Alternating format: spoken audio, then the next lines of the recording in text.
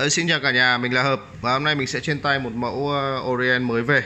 Mẫu này thì trước đây mình đã giới thiệu với các màu khác rồi, đó là màu vàng Yellow Gold và màu đen. Còn hôm nay mình sẽ giới thiệu nốt cái màu ờ, Rose Gold của em nó. Và đây là chiếc ờ, mà như mình đã nói, nó là chiếc Orient Esteem kết hợp với dòng Bambino. Với chúng ta có kính lồi và chúng ta có hở tim ở góc 9 giờ, rất là đẹp. Ở đây các bạn có thể thấy ngay chiếc đồng hồ mà mình muốn giới thiệu đến anh em.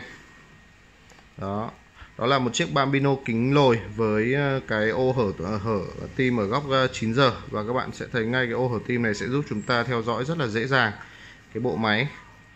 Đó, khi chúng ta lên cót tay thì các bạn sẽ thấy ngay bộ máy chạy rất là tuyệt vời.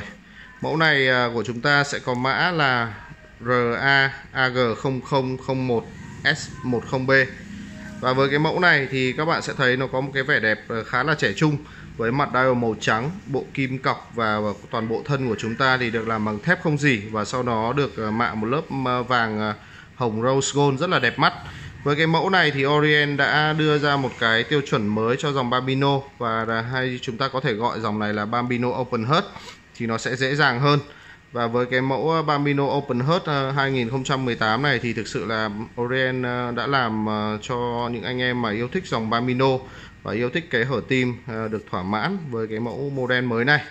Các bạn có thể thấy là ngoài ờ, như ngoài cái thay đổi ở mặt trước như mình đã nói trong các video trước thì mặt sau thì chúng ta cũng có một cái phần ờ, lộ máy mới giúp chúng ta có thể nhìn thấy ngay. Bộ máy mới của nó là F6T22 với 22 chân kính 21.600 tần số dao động và cùng với đó chúng ta sẽ có khoảng 40 giờ tích cót. À, các bạn vẫn có đầy đủ những thông tin ở mặt sau như là À, sẽ Seiko Epson và những cái serial number của nó đầy đủ. Đó. Và với à, một cái mức giá nó cũng rất là tốt nó chỉ khoảng chưa đến 5 triệu đồng thì thực sự là cái mẫu này nó được làm rất là đẹp. Các bạn có thể thấy ngay. Đó.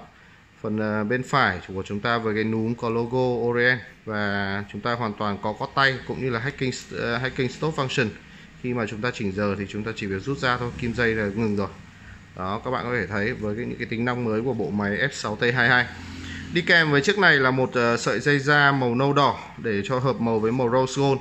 Và chúng ta sẽ có ở đây đó là một cái khóa xiên có logo Orient ở phía trên được làm rất là đẹp. Nói chung là nó vẫn có những cái tiêu chuẩn của Orient và nó được làm mới lại đẹp hơn với thiết kế mới.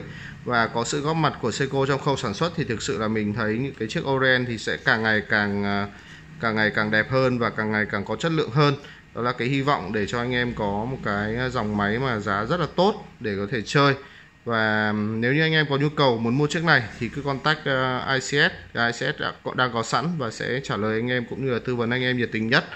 Cảm ơn anh em đã theo dõi video và xin hẹn gặp lại trong những video tiếp theo của ICS